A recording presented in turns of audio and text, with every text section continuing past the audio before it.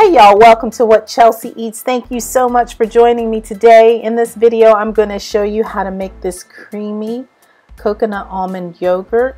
It is so delicious, creamy, and smooth, and it's so easy to make right at home. I have another coconut yogurt video that I'm going to link below and up in the cards so you can have two variations of how to make this yogurt. But if you're new here, welcome. My name is Chelsea Knutson. I'm a certified holistic health coach and the creator of the 90 Day Walk to Fibroid Freedom Group Coaching Program, where I help women shrink fibroids naturally using food as medicine.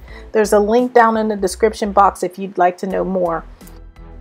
So we're going to start off with our blender. You need a blender in order to do this, make this recipe. I have a cup of almonds that I have soaked overnight. They, you, as you can tell, they're a little plump and they look nice and juicy. So we're going to add those to the blender. You probably need to soak them for at least eight hours. I like to soak mine probably 24 hours best, but eight hours is good enough. So in my neighborhood, sometimes it is difficult for me to get to the Asian market so that I can get the fresh young coconuts. So this option, this frozen option is the next best thing.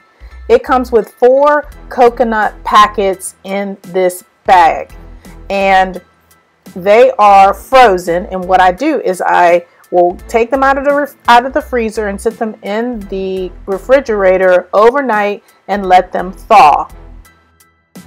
And once they have thawed, I take my scissors and I cut the top part off to expose the little packets that are on the inside of each bag. So I'm using two bags of coconut and the one cup of almonds and this will make a total of four good sized cups of coconut almond yogurt. And so I take the coconut packets out and I snip the tops of the coconut packets off and then I get them ready to pour into the blender which you will see me do in the next step. I will put a link down in the description box for where you can get these coconut packets. Now all you do is pour the contents of your coconut packets into the blender with the almonds and literally you really don't have to wait until this thaws. To me it's just easier to do it this way. You can do it however you want. Now the next step is so easy now that we've got all of our coconut into the blender. We have one ingredient to add. Now, you can add more ingredients, but this next ingredient is the important ingredient. It is the ingredient that makes this concoction yogurt. And that ingredient is the probiotic. And not all probiotics are created equal. So be careful which probiotic you actually buy. This is an excellent brand. There is a link down in the description box below where you can get this. It's called Liyfbiotic. And the reason that probiotics are not all created equal is because a lot of these companies make them with junk. All you need is a half a teaspoon. I used about a teaspoon. It's just because I was being aggressive. There was no rhyme or reason behind it. I didn't need that much.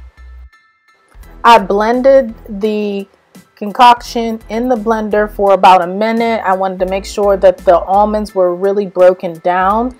Now it's nice and smooth and all I have to do is put it in a mason jar, let it sit on the counter for probably four hours or you can put it straight in the refrigerator so that it can culture. If you choose to put it on the counter, what you need to do is put it on the counter, um, and let it sit there with a lid on it for about four hours. You can even leave it overnight. And in the morning, when it's done, you just put it in a refrigerator for an hour or two and it will solidify. Now, as it sits in the refrigerator, it will continue to culture. My preferred method to culture my yogurt is to take it straight from the blender, put it in this mason jar, close the lid and put it in a refrigerator for a couple of days and not touch it. And then after two days, for me, it's the right taste. And then as you leave it in the refrigerator, it keeps on culturing and it just gets better and better every day. Now, once your yogurt is all cultured, all you have to do to make your second batch is take about a quarter of a cup of this batch and put it in with your new batch.